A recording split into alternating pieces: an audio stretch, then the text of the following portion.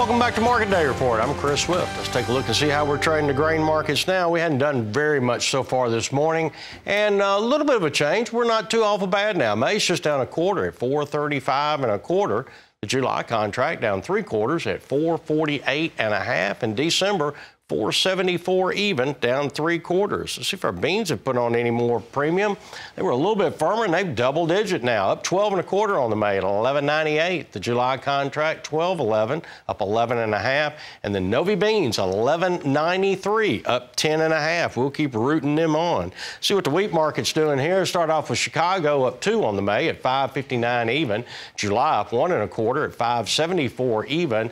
December wheat up one and a quarter at 611 and three quarters.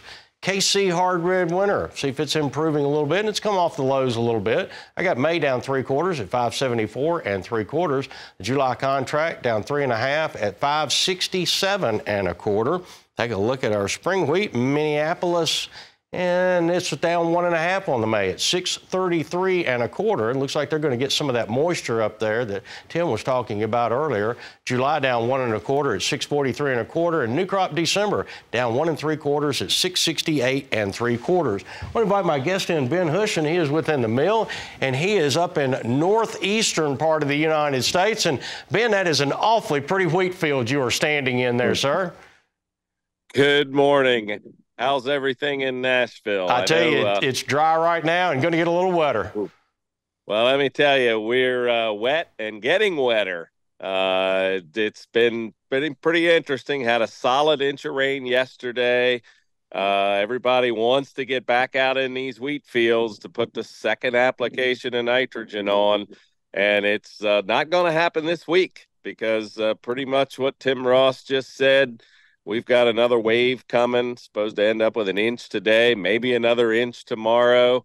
Likely no sunshine till Friday. So, uh, certainly a little bit cool, probably back down in the mid 40s. So, that has slowed some things down, but it has not slowed the mind of the farmer who says it's April and I got to go.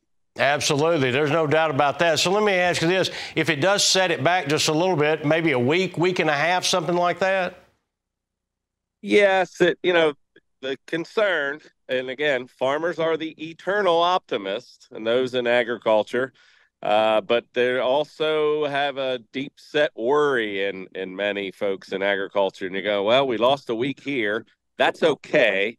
We haven't lost anything. We haven't lost any yield. We really haven't lost any opportunity, but you start thinking, well, what if next week's the same? And what if the following week's the same? Hmm. so uh, I don't, we certainly haven't heard anything here. And one of the beautiful things about the rain we had yesterday and so far today, driving along with all the no till and cover crop, we're not seeing any mud out in the field. So they're just nice, gentle, pretty much all day rains. Not raining at the moment, but uh, looks like it will here any minute. Right. Well, this may be swapping horses on you just a little bit, but it's still pretty much in the news. The uh, the Baltimore Bridge have they begun to open up some of that to allow some shipping back into there?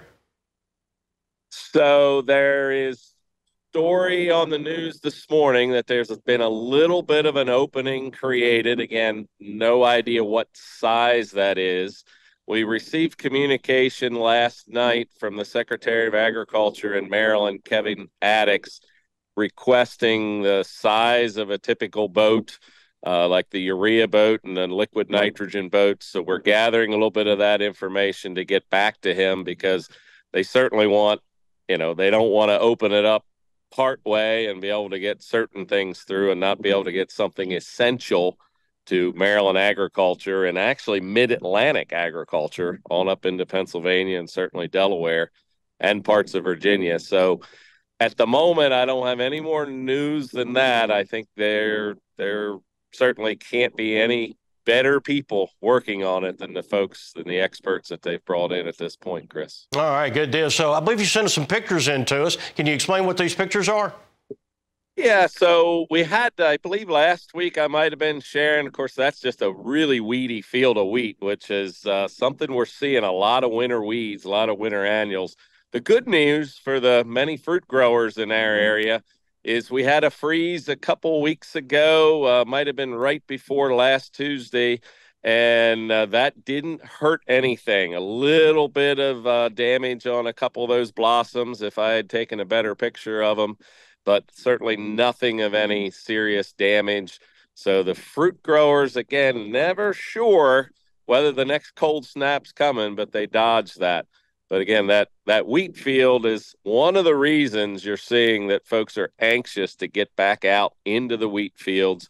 For whatever reason, this winter was a great winter to grow weeds in our wheat field, and we need to get them need, need to get them cleaned up. Absolutely, Ben. Really do appreciate you taking time to be with us this morning. That is Ben Hushon. He is with within the mill in Maryland. Stick with us. We're going to go away, take a real quick commercial break. We're going to come back and talk some more cattle and see what they're doing. Stay with us.